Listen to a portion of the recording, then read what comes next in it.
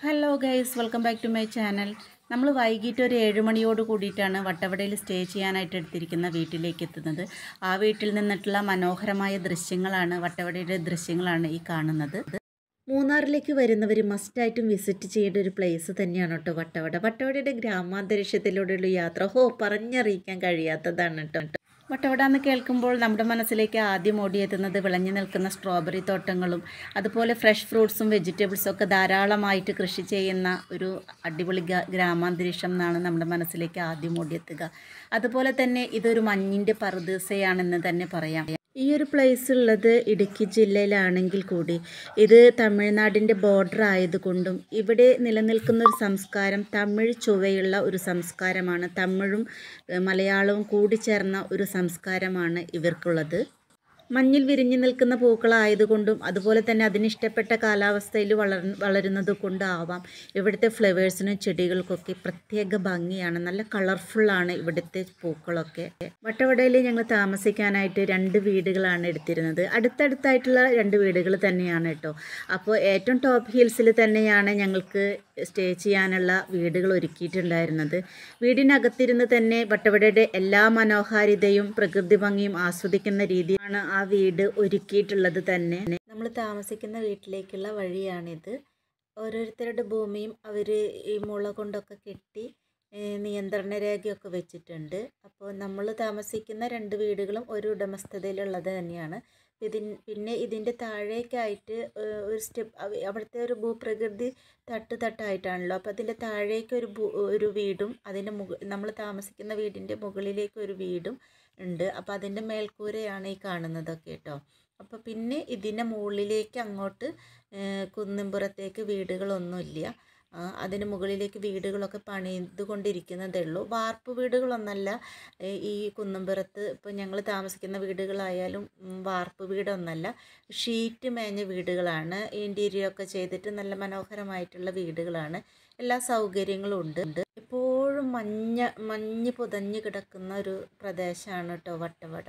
അത് കാരണം തന്നെ എപ്പോഴും നല്ല തണുപ്പാണ്. ഇവിടുത്തെ ഒരു ക്ലൈമറ്റ് തന്നെ ഭയങ്കര തണുപ്പാണ്. എപ്പോഴും കോടമഞ്ഞ ആയതുകൊണ്ട് തന്നെ പെട്ടെന്ന് തന്നെ അവിടെ ഇരുട്ടാവും. നമ്മളിതിന്റെ മുകളിൽ നിന്ന് നോക്കുമ്പോൾ തട്ടുതട്ടായിട്ട് കാണുന്നത് കൃഷി ചെയ്ത സ്ഥലങ്ങളാണ്. അതുപോലെ കൃഷിക്കായിട്ട് ഒരുക്കിയിട്ടുള്ള നിലങ്ങളും നമുക്ക് കാണാൻ സാധിക്കും. ഇരുട്ടായതോടുകൂടി കുഞ്ഞുങ്ങളെല്ലാം വീടിനകത്തേക്ക് ഒതുങ്ങി കൂടിയിട്ടോ. അപ്പം ഞാൻ ഇതിന് വീടിന്റെ അകം ഒന്ന് കാണിച്ചു തരാം നിങ്ങൾക്ക്. അപ്പോൾ ഇത് ഹോളാണ് ഇതിൽ ഒരു നാലോളം പേർക്ക് കിടക്കാവുന്ന രീതിയിലാണ് ബെഡ് ഒരുക്കിയിരിക്കുന്നത്. ആ കിടക്കുന്ന കിടപ്പിൽ തന്നെ നമുക്ക് വട്ടവടയുടെ എല്ലാ മനോഹാരിതയും നുകരാൻ കഴിയുന്ന രീതിയിലാണ് നമ്മൾ വീട് ഒരുക്കിയിരിക്കുന്നതെന്ന് പറഞ്ഞല്ലോ. ഇത് വീടിനകത്ത് നിന്നുള്ള കാഴ്ചകളാണ്. കിടന്നുകൊണ്ട് തന്നെ നമുക്ക് ആസ്വദിക്കാനായിട്ട് സാധിക്കും. നല്ലോണം ഇരുട്ടി തുടങ്ങിയപ്പോഴുള്ള കാഴ്ച കണ്ടു? എന്ത് മനോഹരമാണല്ലേ? ഈ കാഴ്ചകളൊന്ന് കണ്ടു നോക്കൂ. ഇനി വീടിനകത്തുള്ള മറ്റ് കാഴ്ചകളൊക്കെ കണ്ടു നോക്കാം. ഒരാറോളം പേർക്കിരിക്കാവുന്ന ഡൈനിങ് ടേബിളും അതുപോലെ തന്നെ രണ്ട് മൂന്ന് സെറ്റികളൊക്കെ ഉണ്ട്. അതുപോലെ തന്നെ രണ്ട് ബെഡ്റൂമാണുള്ളത് ബാത്ത് അറ്റാച്ച്ഡ് ആയിട്ടുള്ളത്. വലിയ രണ്ട് നാല് പേർക്ക് കിടക്കാൻ പറ്റുന്ന രീതിയിലുള്ള ബെഡ് സ്പേസ് ആണ് രണ്ട് ബെഡ്റൂമിലും ഉള്ളത് അത് വന്ന് കയറിയ ശേഷം കുറച്ച് കട്ടൻ ചായയൊക്കെ തിളപ്പിച്ച് കുടിച്ച് യാത്രാക്ഷീണമൊക്കെ മാറ്റി ഞങ്ങൾ രാത്രിക്കുള്ള ഫുഡൊക്കെ തയ്യാറാക്കി എല്ലാവരും കഴിച്ചതിന് ശേഷം കുഞ്ഞുങ്ങളൊക്കെ ഉറങ്ങാനുള്ള തയ്യാറെടുപ്പിലായിട്ടിരിക്കുകയാണ് കേട്ടോ. അപ്പോൾ കുറച്ച് നേരം ഡാൻസും പാട്ടൊക്കെ ആയിട്ട് അവരങ്ങനെ ഇരുന്നു. പയ്യെ പയ്യെ എല്ലാവരും നിദ്രയിലേക്ക് ആണ്ട് തുടങ്ങി. അപ്പോൾ നമ്മുടെ വട്ടവട മഞ്ഞ് പുതഞ്ഞ് കിടക്കുന്ന വട്ടവടയും അതിന്റെ താഴ്വാരങ്ങളും കാണാൻ എന്ത് ഭംഗിയാണ്. എല്ലാവരും ഉറങ്ങിക്കഴിഞ്ഞിരിക്കുന്നു അപ്പോൾ ഞങ്ങൾ രണ്ട് മൂന്ന് പേർ മാത്രം ഉറങ്ങാതിരുന്നു. ഞങ്ങൾ ഉറങ്ങേണ്ട സമയമായിട്ടില്ല അപ്പോൾ ഞങ്ങൾ ക്യാമ്പ് ഫയറൊക്കെ നടത്തിയിട്ട് കുറേ സമയം തണുപ്പിനെ അകറ്റി ആ ചൂടിൽ അങ്ങനെ ഇരുന്നു. നേരം രാത്രിയായി. ഞങ്ങൾ ഉറങ്ങാനായിട്ട് കിടന്നു. പിറ്റേ ദിവസം നേരം പുലർച്ചെയുള്ള വട്ടവഴയുടെ ദൃശ്യങ്ങളാണ് ഈ കാണുന്നത്. അപ്പൂസ് പുലർച്ചെ തന്നെ എണീറ്റതിന് ശേഷം മുറ്റത്ത് നമ്മൾ വീട്ടിലൊക്കെ നടക്കുന്ന മാതിരി അവൻ പറമ്പിലൊക്കെ നടന്നതിന് ശേഷം വീടിന്റെ മുറ്റത്തുള്ള ആ തെങ്ങൻകുറ്റിയിൽ വന്നിരിക്കുകയാണ്.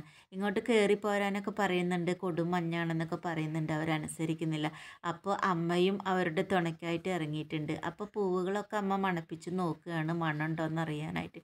പക്ഷേ ആ പൂക്കൾക്കൊന്നും മണമൊന്നുമില്ല. അതൊരു പ്രത്യേക തരം പൂക്കളാണെന്ന് തോന്നുന്നു. നല്ല ഡാർക്ക് വയലറ്റ് ചേർന്ന നല്ല ഭംഗിയുള്ള പൂക്കളാണ്. അതും കുലകുലയായിട്ട് വിരിഞ്ഞു നിൽക്കുന്നത് കാണാൻ വളരെ ഭംഗിയാണ്. അതുപോലെ തന്നെ വ്യത്യസ്ത തരത്തിലുള്ള ചെടികളും ഉണ്ട്. ഇനി എല്ലാവരും ഫോട്ടോസൊക്കെ എടുക്കുന്ന തിരക്കിലാണ്. ഫോട്ടോക്കൊക്കെ പോസ്റ്റ് ചെയ്തുകൊണ്ടിരിക്കുകയാണ്. അപ്പൂസും ദാൻവിമോനും അമ്മയൊക്കെ കൂടിയിട്ട്. ഇനി ഇവിടുന്ന് കുറേ ഫോട്ടോസൊക്കെ എല്ലാവരും എടുത്തിട്ടുണ്ട്.